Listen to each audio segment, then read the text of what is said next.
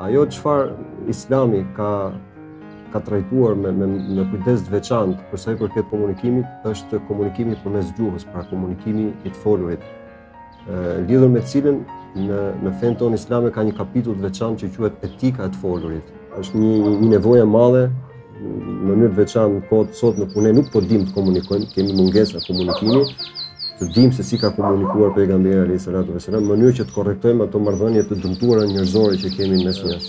Kam përshtypjen se përmes fjalëve të kujdesshme, përmes shmangies së veprimeve apo fjalëve të tilla si gënjeshtra, përtallja, tallja, thashethemet, përgojimi, sharjet e gjërave të tjera të ngjashme si këto, kam përshtypjen se njeriu edhe fisnikërohet. Sjellja e tij bëhet edhe më fisnike.